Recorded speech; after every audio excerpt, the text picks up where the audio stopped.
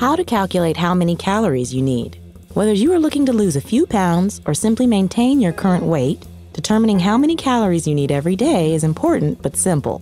You will need a scale, a yardstick, and a calculator. Step 1. Weigh yourself and know your weight in pounds. Then use the yardstick to measure your height in inches. Step 2. Calculate your basal metabolic rate if you're a woman. Multiply your weight by 4.35. Then multiply your height by 4.7. Add the two products. Then subtract the product of your age in years multiplied by 4.7 and add 655. For example, a 150 pound woman who is 65 inches tall and 30 years old would have a basal metabolic rate of 1,472. Step 3.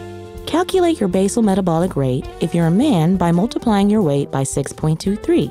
Add the product of your height in inches multiplied by 12.7. Subtract your age in years multiplied by 6.8 and then add 66. A 180 pound man who is 70 inches tall and 40 years old would have a basal metabolic rate of 1,804.4. Step 4. Determine your daily activity level. Sedentary people get little to no activity. Light levels include activity a few days a week, moderate includes activity three to five days a week, and very active individuals play sports daily. Step 5.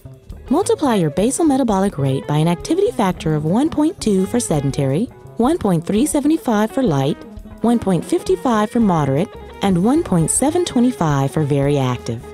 If the 150 pound woman is active four days a week, her activity level would be moderate, multiplying her basal metabolic rate of 1,472 by 1.55 gives her a calculation of 2,281.6. Step 6. Factor the basal metabolic rate by the activity factor to give you the number of calories per day you can eat to maintain your current weight. Step 7. Subtract 500 calories per day to lose 1 pound each week. Keep tabs on your caloric intake and you'll stay fit and strong. Did you know?